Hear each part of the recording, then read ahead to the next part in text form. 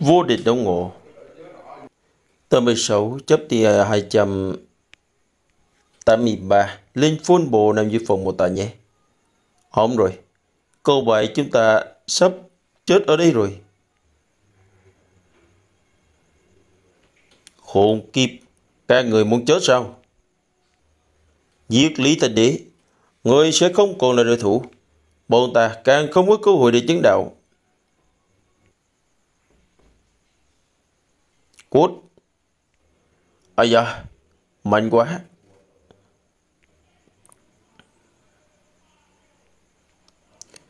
Là chẳng sẽ bị phá vỡ rồi. Chưa nắm chắc giết được Lý Thành Đế, Giết tên bác sĩ đó trước. Cuối cùng cũng qua được nghi cơ rồi. Dạ Trương Nho Hải. Kế tiếp theo Chính là người À ta nhận thua. À, ta, ta nhận thua. Nhận thua Còn chưa đủ. Tiêu vân Dân tay. Tiêu vân Hiền chất à Tha được người nào thì tha. Cô ta đi Ngươi không động được đến hắn đầu Người cũng không ngăn cản nổi được ta đâu Do dùng thôi, đã kết thúc rồi thì vẫn ở đây thôi. Bằng thật quyết Bằng thạch quyết tí chỉ là pháp quyết tôi luyện tinh thần lực. Nhưng mà dựa vào tinh thần lực hư nhược của Khương Đạo Nhiên lúc này thì căn bản không thể chịu đổi. Ý à,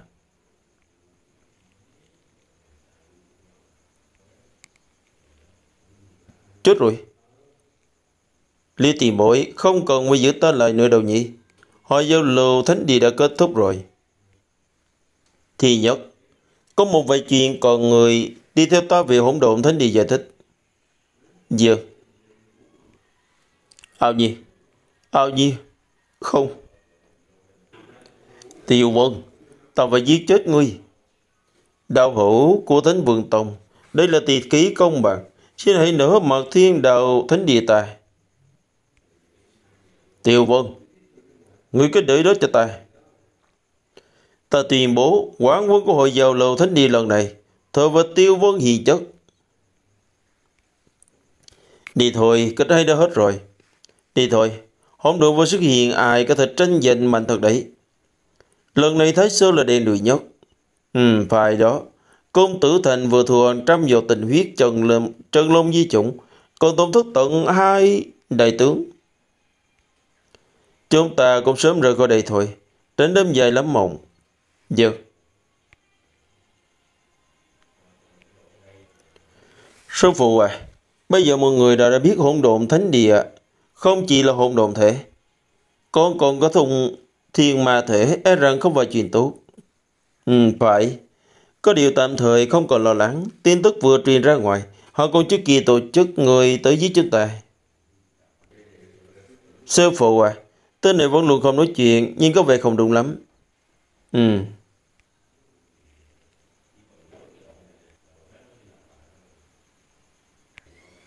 ừ đây là phấn thấn. Lời chân thực như vậy à? Ngay cả người sắp thành thánh như ta cũng bị lửa. Hắn rời khỏi lúc nào vậy? Sư phụ à, không chú ý tới sao? Chắc là khi liễu thiền đồ ra tay với con. Ta lo lắng là hắn nhân cơ hội này để hại con, nên đã phân tâm. E rằng bây giờ hắn đã đi theo cái đám người của Thái Sơ Thánh Địa rồi. Hắn đi rồi, nhưng mà người khác thì lại cho rằng hắn là người của hôn đồn Thánh Địa chúng ta. Chuyện tới nước này thì chỉ có thể trở về trước. Lần này con đã để lộ hỗn độn thể, sợ là sẽ gây ra sông gió.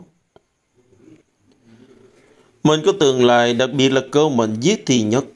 Còn dự đoán là hỗn độn thánh địa sẽ có đại nạn.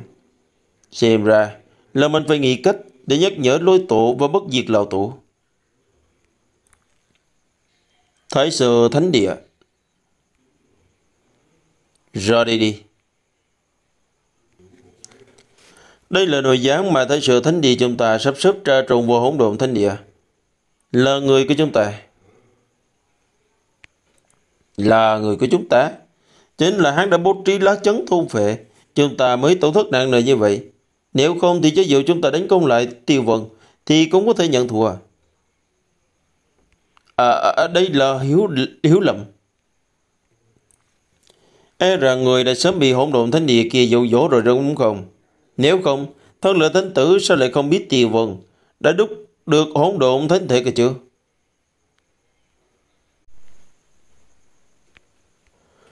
Là ta đã quả đánh giá thấp tiêu vần. Không ngờ hắn sớm đã đúc được hỗn độn thể. Ta cho rằng là các người liên thủ có thể giết được tiêu vận, cho nên mới đặc biệt bố trí là chấn tôn vệ. Hừm, ta thấy người chính là một tên phản đồ. Đâu có cầu bài ta biết cậu trong lòng mật mạng. Có điều cậu có thể có cổ thần nhất bảo đảm thì thân phận không có vấn đề. Nếu như ý cổ thần nhất thì ta cũng đã cảm thấy tên này có vấn đề. Thân phận không có vấn đề thì sao chứ? Hắn đã hết chích trường, nhai hải và tử hào thiền. Còn có khôn hào nhiên. giải thích vì người là vì ngươi là có tiên phú không tệ. Nếu như không bản tổ căn bản là không cần phải giải thích vì người. Độc cô cầu bại nghi yên tâm. Người có tiên phú thì thấy sự thánh địa bồn tà nhất định sẽ trọng điểm bôi giữa người. Nhưng mà ta không phải là đối thủ tranh chấp của người. Người không cần phải nhất thiết nhắm vào ta. Người làm tốt chuyện của mình đi. Là ngọc phù do chuẩn đế liền chế. Càng là thứ chuẩn đế muốn liền cho ra thì không phải tra một cái giá rất lớn. Hắn rất cùng lại. Thì nhất thần nhất Chẳng lẽ ngươi là con trai của cổ thần nhất, cháu trai, chắc trai? Đi thôi. Thế hợp trẻ chỉ còn lại hai người là cậu và Lý Thành Đế. Bọn ta sẽ trọng điểm bồi dưỡng hai người. À được thôi. Hỗn độn thánh địa Mọi người nói rất đúng.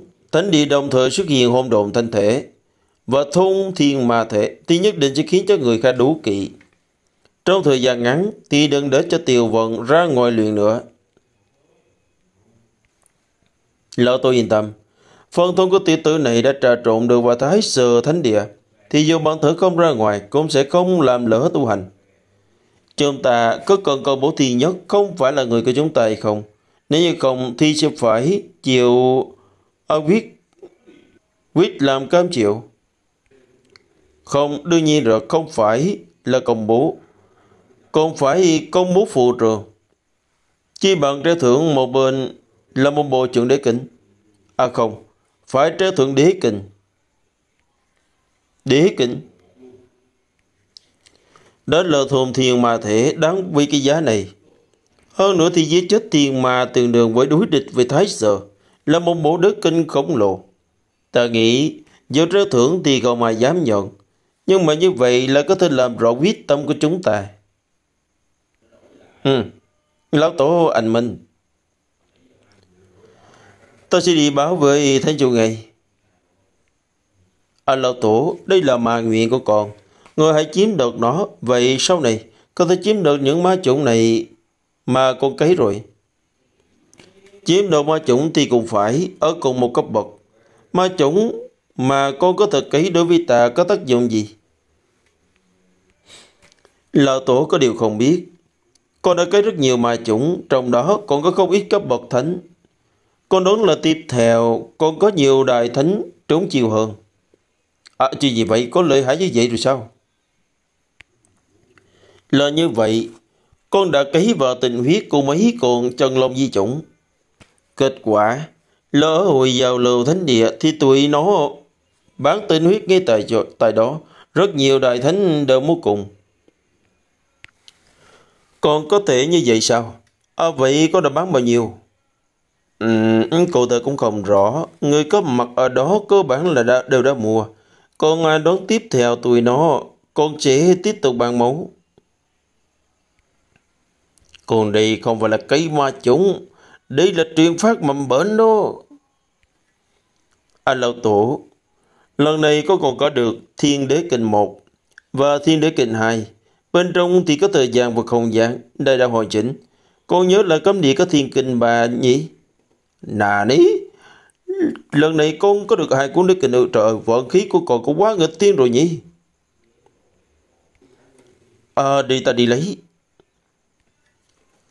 này có điều con thực sự có thể khiến cho nội dung ở trong cuốn vô tự đế kinh này hiển thị sao? À, đương nhiên. đi đi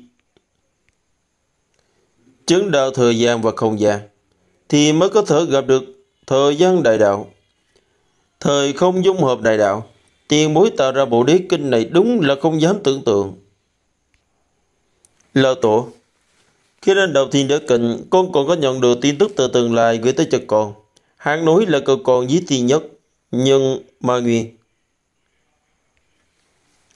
Là muốn cựu tà thân cấp trường địa rất khó Vì vấn đề lớn nhất không phải là nằm ở dung hợp mà chủng mà là nằm ở hết tạo ra chuẩn đế kinh Cũng như vậy là do có cửa khó này Mới khiến cho lôi tổ thần cấp trước Thì cũng có gần như là không có khả năng À xìm ra chuyện này khó hơn có nghĩ. Được rồi, chuyện này con không cần lo. Thì ta không thể thua thăng lên chuẩn đế. Nhưng mà tại thời khắc quan trọng vẫn có chiến lực của cấp chuẩn đế. Đi thôi, huynh đệ đồng thuần vườn không thể giữ lại nữa. À lão tổ à, lời nhắn núi là giết huynh đệ đồng thuần vườn, Nhưng mà con cảm thấy hai người này yếu như vậy. hơi như là cũng không có ảnh hưởng lớn gì đối với thế cục mà. Điểm này ta cũng không hiểu. À, lát nữa tới là biết ngay. Đông Ngọc Phòng Hai người các người từ nhỏ đã gia nhập hỗn độn thánh địa bọn ta. Là cái ngô kiều mong một tay nuôi lớn. Tại sao lại phản bội? À, lão, lão tổ à, vạn bối không mở phản bội hỗn độn thánh địa. Có phải là ngài có hiểu lầm gì rồi không? Đông Thần Vương Thiên nhất chính miệng nói ra với ta các người thông qua bán đứng hỗn độn thánh địa để lấy được không ít lợi ích từ Thái Sở. Nếu như không, thì Đông Ngọc Đường sao có thể tăng cấp thành thánh như vậy? Đông Ngọc Đường nói À anh lão tổ, ta vốn dĩ là chỉ dùng một vài chuyện không quan trọng để loại lấy chút lợi ích. Anh là đại ca tạ, là hắn ép ta. Tinh thần lực của Đông Ngọc Đường đúng là quá kém. Lão Tổ vừa mới trấn áp thì đã cài hết rồi. Không được, không thể chết như vậy được. Có tiêu vân làm con tin, thì có lẽ có thể sống.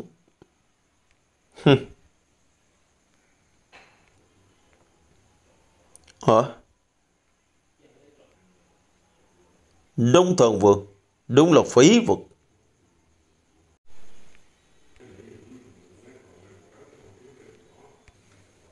Tì Hòa Cô thái sơ tính địa Lão già nhà người lại cô chưa chết.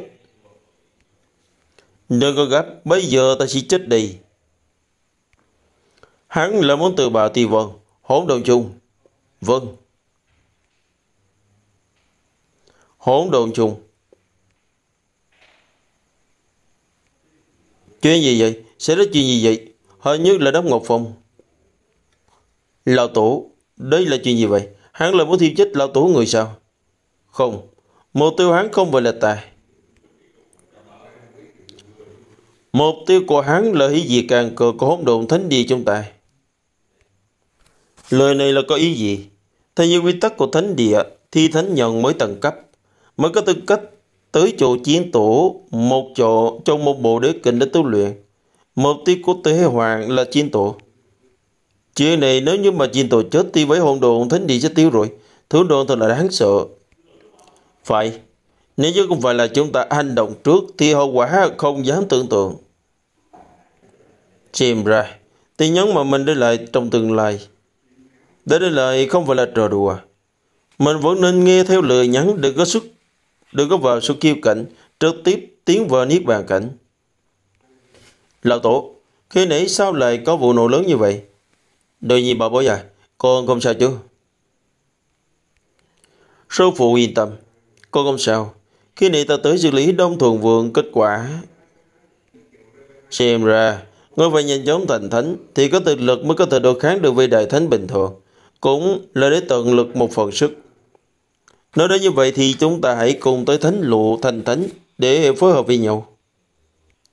Nếu như người đi rồi, thì hỗn độn thánh địa phải làm sao? Tiêu vân có phần thần ở đây, không còn tu luyện lại là thần tử, cứ giao cho cậu ấy quản lý. Dù sao thì sau này cậu ấy sớm muộn cũng sẽ trở thành thánh chủ. Cứ quyết định như vậy đi. Ta đi theo phát bút lệnh, theo thượng, treo thưởng của thiên nhất trước.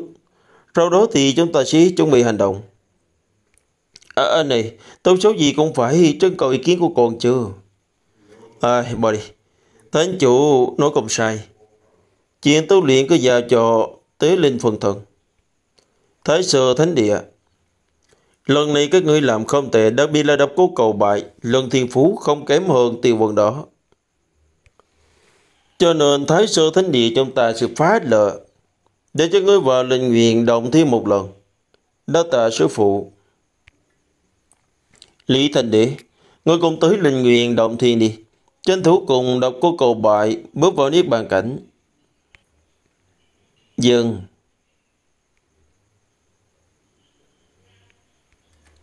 Thật Nhật, đối phó với hồn đồn thánh địa thế nào? Cháu có cách không? Hối dạ dạ, cháu đang nghĩ ra cách tiêu diệt hồn đồn thánh địa trong một đòn. À nói nghe xem. Cháu, chuẩn bị liên hợp với cách thiết lực khác, tập hợp bảy tấm người, một đồn tiêu diệt hỗn độn thánh địa. Kế hoạch không tệ, nhưng mà ta không nghĩ là sẽ có nhiều người ra tay như vậy. Thánh vườn tòng quần già, thì Đông Hoang Diệp và Thiên Kiếm Thánh Địa, Thiên Đào Thánh Địa, Bá Tiên Thánh Địa, còn có lùi chiến của kiếm các còn đều đã sự chuẩn bị thử xem. Còn có một đồn tiêu diệt hỗn độn thánh địa, đối với họ mà nói thì có lợi ích. Châu ngoan, Cơ quan này thực sự là đáng để thử. Cứ to gan thử xem. Hỗn độn thánh địa Thân tứ đại nhân Đông phủ của Hải Quỳnh Đệ Đông Thần Vượng là một nơi động thiên phúc địa. Mấy vị thánh tự đầu đang xin đối đồng phủ xin hủy uh, à, xử lý thế nào? Để cho chiều có vô cực đi. Ờ, à, nhưng mà triệu vô cực không hề xin đổi đồng phủ. Đây là âm mưu, là muốn đưa lửa ích cho người của mình. Âm mưu này cũng quá trắng trợn rồi. Ta thường cho hắn không thể sao. À, à, đương nhiên là có thể. Vậy, không phải chứ, đây là đột phá tới niết bàn Cánh rồi á. Chỉ ngồi mà đã thần cấp á, thần tứ đúng là thần mà. Phải đó, lần đầu thấy luôn. Thánh địa có hy vọng qua khởi rồi. Niết bàn cảnh không phần sơ trụng hậu kỳ. Chỉ là có đủ qua thiên địa, nhân cầu kiếp thì mới được. Hơn nữa chỉ có thể là bán thế độ. Cho nên vẫn là để sư phụ trở về rồi nói. Thái sơ thánh địa Câu bại Có chuẩn bị khi nào thì ra ngoài rèn luyện Ta muốn mới qua một khoảng thời gian Chuẩn bị cho chuyện độ kiếp Rồi mới ra ngoài rèn luyện. Ừ cái tên này Sẽ không đi theo mình đi chưa? Ta đi cậu. Ê, Nơi này không tiện ở lâu Vẫn nên chống là chuồng thôi. Thành đế Cậu đi tu luyện trước đi. Ta có chuyện muốn nói với cậu bại Được Ây da thì mũi à. Ngài đúng là người tốt Hả? À cậu bài à? À cậu lấy có thể chừa bối đã biết biết trước là ta sắp tận độ tốt cho cậu sao? Năm thanh kiếm này đều là thánh bệnh. Tuy chỉ là thánh bệnh sửa cấp nhưng mà đủ ý ứng với tu tinh ngũ hành. Thích ừ, hợp nhớ với cậu. Ta cho cậu chắc là có được sự trợ giúp rất lớn đối với chuyện độ kiếp. Đã tờ tìm bối, vạn bối có tài đức gì? Vậy vạn bối xin nhận trước. Cái lời này không chiếm thì cũng ổn. Tập 288 Cái lời này không chiếm thì cũng ổn. Thánh Vương Tông Một thất lão đệ, Ngươi suy nghĩ thế nào rồi? Bây giờ bên ngoài đang có lời đồn Nói là thi nhất đó là cháu trai của người Tên của người cũng quá giống nhau Vậy nếu như chuyện này bị già già ta nghe thấy Thì có thể là không đến chết tại sao? Lời đầu mà thôi. Ngươi nghĩ xem, nếu như mà tiêu vận là thi nhất đều thành thánh, thì hỗn độn thánh địa còn ai có thể địch nổi. Được, ta có thể ra tay, có điều hỗn độn trùng nhất định phải cho ta. Chuyện này ta cũng dám đảm bảo. Nhiều trường đế như vậy chỉ có thể nói là ta có thể giúp người. Có thể có được hay không phải xem vận khí. Được, phải thì quyết định như vậy đi. Mà thật lão đệ, đưa tin tức của ta. Đến lúc đó thì ta sẽ truyền thư cho người. Kim Cát Nếu như mà lừa Quỳnh đồng ý ra tay, ta có thể giúp Quỳnh có được hỗn độn chung. Ta không cần hỗn độn chung. Giao độc cô cầu bại cho ta. Ta sẽ giúp ngươi ra tay một lần. Đâu có cầu bại. Ngươi yên tâm. Ta sẽ không muốn lấy mạng của hắn. Ta chỉ là muốn nghiên cứu kiếm đạo của hắn. Sau khi trong chuyện, ta sẽ trả lại cho hắn. Chờ người, điểm này ta có thể đảm bảo. Được. Sau khi trong chuyện, ta sẽ giao đâu có cầu bại cho người. Giao dịch thành công. Tất cả đều thuận lợi, hỗn độn thánh địa đều bị tiêu diệt đi. Con đã lấy được sinh mệnh thân thể của trường Nha Hải ở trong hồi giàu lầu thánh địa đúng không? Đúng vậy. Lão Tổ có kế hoạch gì sao? Bọn ta muốn dùng sinh mệnh thần thể giúp chiến tổ hồi phục nguyên khí. Tới chiến tổ, thiếu chính là thọ nguyện. Sinh mệnh thần thể của con chỉ có thể kéo dài sinh mệnh. Thật ra thì chiến tổ là vì thực lực sinh mệnh càng kiệt. Càng dùng thọ nguyện để đổi lấy lực sinh mệnh thì mới có thể chiến đấu, cho nên mới luôn ngủ mà không dám hành động. Cũng chính là nói, nếu như có lực sinh mệnh thì chiến tổ trong thọ nguyện cũng có thể tùy ý hành động và chiến đấu, có đúng không? Đúng gì? Nhưng mà thực lực còn có hạn, có sinh mệnh thần thể thì cũng vô dụng. Cho nên nói bồn ta quyết định dùng tích lũy cuối cùng của thánh địa để con mạnh hơn. Trong hai bình này, lần lượt là một viên đại thánh địa đàn, ba viên thanh đàn. Trong chiếc bình còn lại là một giọt tình huyết của tổ sư già. Đại đế tình huyết, tân một ngàn năm tuổi thọ nguyện, vì sao không cho chiến tổ dụng? Chiến tổ sớm đã dùng đại đế tình huyết rồi, mà đại đế tình huyết là vì đã bồi dưỡng chuẩn đế mới lại, mới để lại. Có điều con cũng đã đúc thành hỗn độn thể, cho nên tinh huyết này bọn ta quyết định là cho Long Tôn dùng, tạo thêm một vị chuẩn đế nữa. À, vậy há chẳng phải chúng ta chỉ có ba vị chuẩn đế sao? Không nói chuyện này nữa. Con hãy dùng đàn thánh được thánh đơn này trước. Có nó thì có thể khiến cho tù vị của con đại thành. Sau đó thì đi giúp chiến tổ hồi phục lực sinh mệnh. À, lợi hại như vậy sao? Đáng tiếc là chỉ có thể duy trì trì trong một ngày. Toàn lực thiết triển sợ là cũng chỉ có vài canh giờ đã dùng trước đại. Đơn dược bị giá như vậy, con nhất định sẽ không phụng sứ mệnh.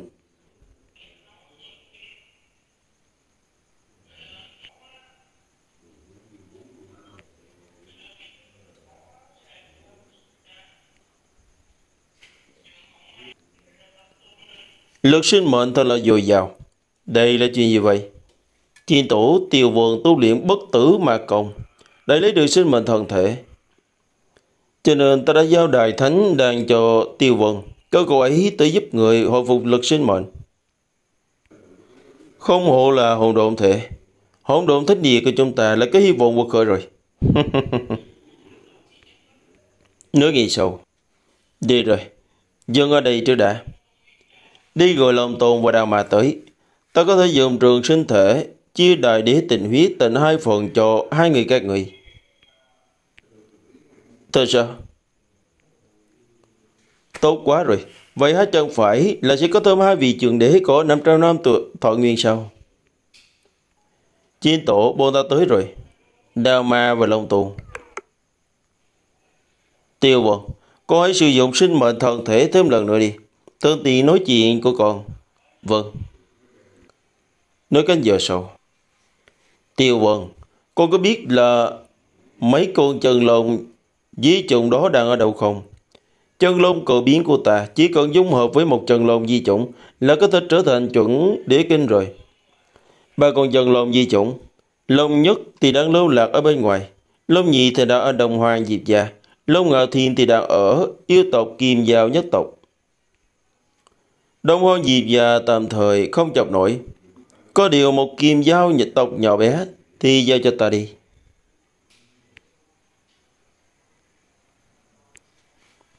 Long Ngạo Thiên vừa bước vào niết bàn cảnh, đã bị lôn Tồn và bất diệt lão tổ nhắm tới. Đây chắc là kiếp nạn của niết bàn cảnh. Thiên phú của mình mạnh hơn, sợ là sẽ có người đáng sợ hơn đang đợi mình. À đúng rồi, lôi chiến cái tình đó vẫn luôn nhắm tới mình. Còn có một thất của Thánh Vườn Tông, kế thủ của mình đúng là nhiều thật. Cho còn bà vị thanh đan này, từ cái quan trọng của thế duy trì từ vị của thánh nhân trong 3 phút. Chắc là có sự trợ giúp đối với chuyện của độ kiếp Niết Bàn cánh của con. Đã tại lời tổ, vậy con ra ngoài rèn luyện đây. Ở một khu rừng nào đó.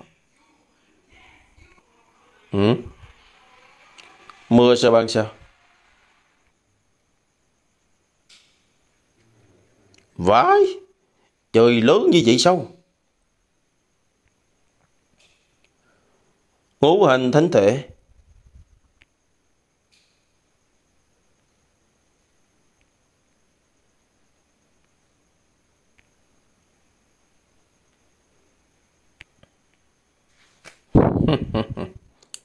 Cuối cùng cũng tránh được kiếp đầu tiên rồi. Tiếp theo tới Thiên Đế Thành xem xem. Thiên Đế Thành lông ngào thiền là bạn mẫu, mọi người mau qua đó xem đi. Hử? Lông ngào thiền ở Thiên Đế Thành, không phải hắn đã ở Kim Giao tộc sao? À không được, mình phải qua đó xem xem. Nè nè, à, xếp hàng đi có trật tự. Hóa ra là có đại thanh bảo vệ cho nên mới có chỗ dựa không sợ như vậy.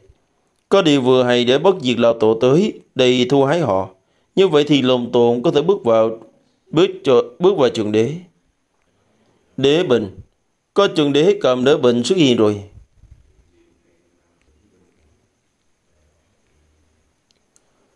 Phương hướng hồn đồn thánh địa lên nào? Là bọn chúng muốn cùng đánh hỗn độn thánh địa. Hỗn độn thánh địa. Cổ thần nhất chỉ dựa vào một mình người cũng dám tới hỗn độn thánh địa bọn ta làm bậy sao? Đương nhiên là không chỉ có một mình ta. Diệp già, Diệp vợ, thiên kiếm thánh địa, kiếm bạch, thiên đạo thánh địa, kinh giác. Sáu vị chuẩn đế. Hỗn độn trùng, mày là vị các người tới đây làm cái gì? Bất diệt, cơ chiến tụ ra đây. Nếu như không thì trân đời lùi cũng được. Người cũng không xứng ngồi ngang hàng với bọn ta. Tôn thiên ma thượng nghi hại chúng sinh. Thiên kiếm thánh địa ta không thể không ra tay. Không sai. Các người đã có hỗn độn thể, thì chỉ còn phế thùng thiên ma thể thì bọn ta lập tức rút lui. Chỉ là cái cớ. Trên lịch sử tôn thiên mà đã từng xuất hiện cũng không thấy các người liên thủ. Thật sự coi hỗn độn thánh địa bọn ta giỡn hiếp chi vậy sao? Ôm ào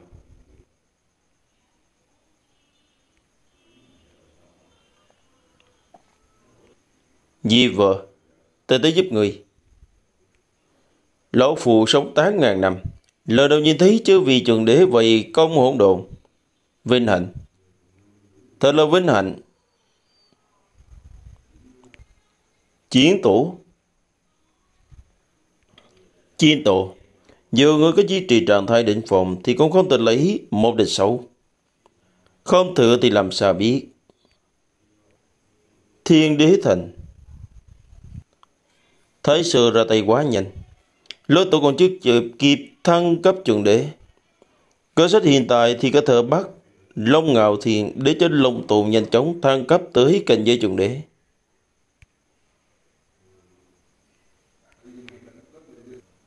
Hy vọng là bà viên thánh đan này có thể khiến cho mình trong đợi thêm một lát. À, mọi người chú ý trật tự trật tự. Cảnh giới ngựa người thấp như vậy, có thể lấy ra bảo vật gì đây, đừng có trêu đùa ta. Đương nhiên là có thể rồi. Hỗn độn quyền. Muốn đưa lông ngạo thiên đi. Thì trước hết phải giết hắn trước mới được. Ngươi, ngươi là tiêu vân.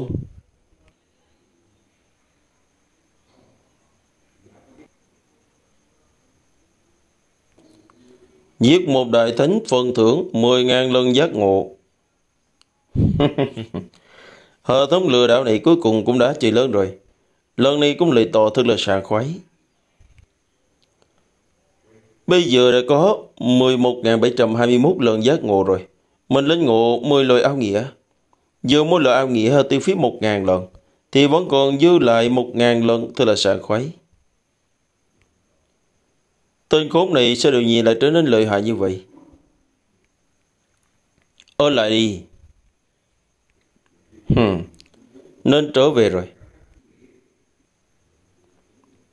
Hỗn độn thánh địa. Bởi vì lò tổ, nghĩ cách che chở còn về thánh địa. Con đã bắt được Trần Lùng di chủng trở về rồi. Tốt qua rồi. Ta cầu chiến tội giúp con trở về. Ám ảnh phân thân thuật